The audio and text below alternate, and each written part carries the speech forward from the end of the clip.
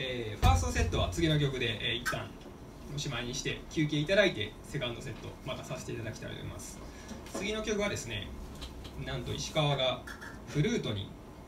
持ち替えて